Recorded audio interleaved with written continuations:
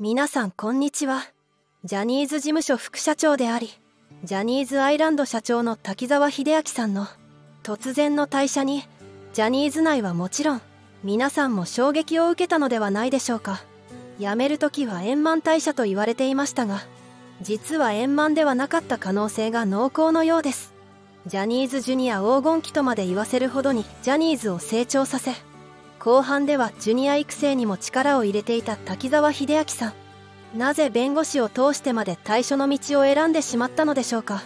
ここからは滝沢秀明さんが退所した理由を徹底調査していきます。まず滝沢秀明さんの退社に関係した人物紹介の後それぞれ詳しく解説していきます。滝沢秀明さんの退社に関係する人物は名前がとても似ていて混乱しやすいため先に説明しておきます。藤島ジュリー恵子現ジャニーズ事務所の社長。メリーの娘でありジャニーの名。滝沢秀明と確執があった。ジャニー。北川。ジャニーズ事務所前社長。死去。メリー北川の弟。メリー北川に不信感があった。滝沢秀明と信頼関係があった。メリー北川。ジャニーズ事務所名誉会長。死去。ジャニー。北川の姉。娘である藤島ジュリー恵子をジャニーズ事務所社長に任命。以上この3人が挙げられます。何度確認しても混乱しますよね。特に藤島ジュリー恵子さんに関しては滝沢秀明さんの退社に関わる重要人物なので押さえていただけたらと思います。それではここから退社理由について詳しく紹介していきます。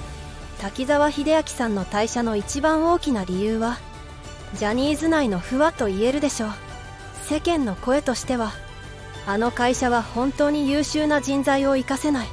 長年貢献した優秀なマネージャーを追い出したと思ったら人生をかけてジャニーズを守ろうとしたタッキーに辞める決断をさせるほど円満退社のわけがない。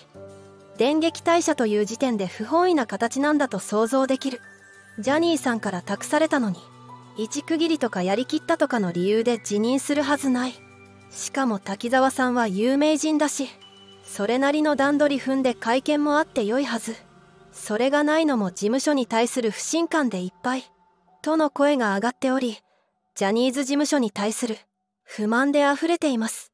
ここで滝沢秀明と藤島ジュリー恵子との確執について深掘りしていきます。滝沢秀明さんと現ジャニーズ事務所社長の藤島ジュリー恵子さんの関係は最悪だったそうです。一緒に働いてるスタッフによると。はっきり言って滝沢さんとジュリーさんの関係は最悪です。現場であっても2人は互いに目も合わせようとせず。滝沢さんは嫌悪感を露骨にしていた。今後2人が協力体制を取ることは考えられない。と話していたそうです。藤島ジュリー恵子さんはジュニアの育成に興味がない。藤島ジュリー恵子さんの母親メリー北川さんの独断行動にジャニー北川さんが激怒したことなどが原因となってジャニー北川さんと信頼関係を築いていた滝沢秀明さんと藤島ジュリー恵子さんは不和になっていきました。メリーさんとジュニア担当の社員がジャニーさんに相談なく密かにユニバーサルとの交渉を進め海外進出のバックアップを条件に独断で同社と契約を結んでしまったのです。ジャニーさんは裏切られたと激怒していました。もともとジュリーさんはジュニアに興味がない。そんな状況を見かねた滝沢さんがジュニアのために自分の舞台で役を用意したりテレビ局のプロデューサーに彼らを必死に売り込んでいたのです。との声も上がっています。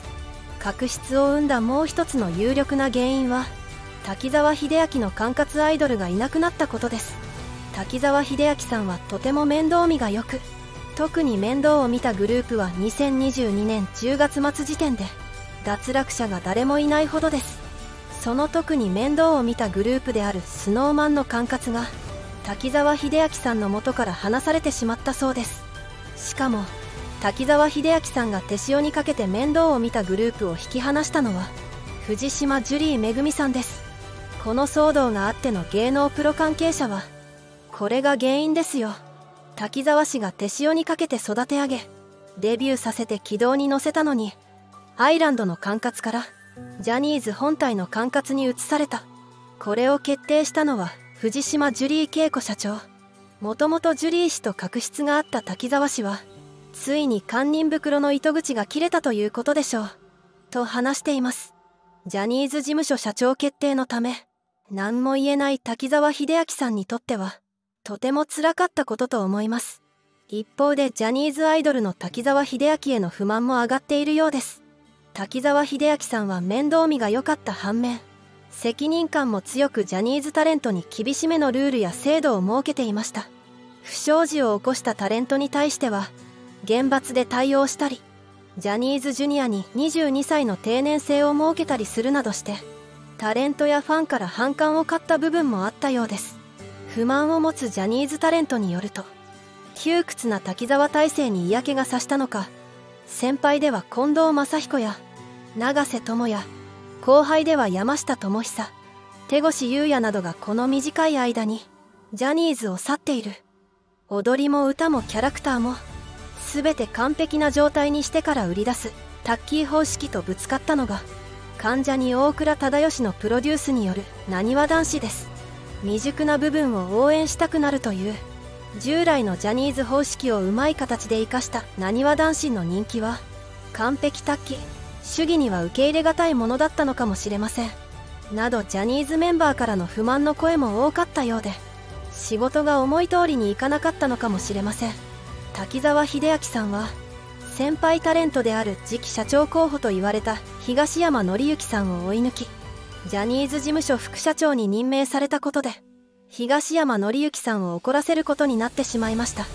滝沢氏は2018年にタレント活動を引退。裏方に回りジャニー氏が亡くなった後の19年9月末には先輩タレントたちを追い抜いてジャニーズ事務所の副社長に就任。タレント育成を担うグループ会社ジャニーズアイランドの社長も任されました。関係者によるとこの飛び級で東山がすっかりへそを曲げたらしい。以降滝沢さんはジャニーズ内で孤立してしまったようです。と言っており滝沢秀明さんと東山紀之さんは兄弟のような関係でしたが不仲になってしまいました。きっと仕事はとてもしづらかったでしょうね。加えてジャニー北川が亡くなり恩返しの意味がなくなったということが退社理由として挙げられます。幼少期に親が離婚し母親に育てられた家庭環境も影響してか滝沢秀明はジャニー北川さんのことを父親のように慕っていたそうです。当時のインタビューに滝沢秀明さんは僕はなんかこうファンの方には本当に申し訳ないですけど皆さんがやる普通の親孝行を僕はジャニーさんに親孝行したいなっていう風に今すごく思ってます。と胸の内を明かしました。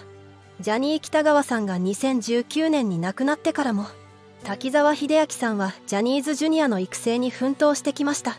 いない人のために頑張っていたのに藤島ジュリー恵子さんなどの不和で心がぽっきり折れてしまったのかもしれませんね。ジャニーズ事務所内の不和は思ったよりもドロドロしていて滝沢秀明さんの体調や精神面なども心配になるところです。そんな滝沢秀明さんの現在をご紹介します。退社後結婚するのでは？と噂があります。結婚のために退社することも退社後結婚することも事実やネタではなく残念ながらガセのようです。退社後の滝沢秀明さんになんと芸能界復帰の嬉しい噂が。現在タッキー翼で相方だった今井翼は大手事務所松竹芸能に所属し俳優としての活動が軌道に乗っている。2人は今も仲が良く連絡を取り合う関係ですから。今後松竹芸能に移籍して芸能界に復帰する可能性もありますよ。もしそうなればジュリー氏は顔に泥を塗られたことになる。滝沢氏からすればこれ以上の意趣返しはない。と関係者の方は答えています。滝沢秀明さんほどの人物ならば引く手はまたで復帰は簡単そうですね。藤島ジュリー恵子さんへの復讐のため復帰するのだとしたら少々残念な気がしますが彼の活躍をもう一度見てみたいです。また滝沢秀明さんはテレビ出演がきっかけで論文を出すほど火山の魅力にはまってしまったそうです。時間があったらまたやりたいですとも言っており体力的にもピークの今がちょうどいい時期だったのかもしれませんね。芸能界での滝沢秀明さんもいいですがロマンを求める男臭い火山家滝沢さんも見てみたい気がします。いかがでしょうか？最後までご視聴いただきありがとうございました。コメントを残してくれると嬉しいです。チャンネル登録高評価もぜひお願いいたします。それではまた。